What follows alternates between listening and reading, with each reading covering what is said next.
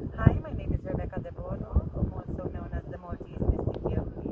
Um, as most of you know, I'm very much into my crystals. I've been uh, using crystals for the last 15 years. Something that uh, it's, uh, grown on me from childhood. I'm recalling my first crystal, which was a red tiger eye. Very nice.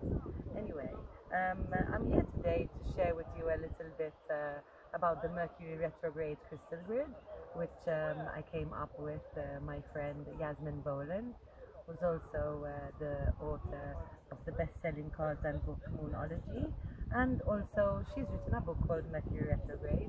Um, uh, and uh, we decided that uh, since our collaborations went so well with the full moon and new moon crystal grids, that we would create a crystal grid for the Mercury retrograde period which comes around every four, let's say four times a year, actually, four times a year.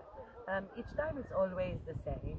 Mercury retrograde presents itself to uh, bring in renewal, revival, um, uh, maybe help us with our communication if we need to look back on something.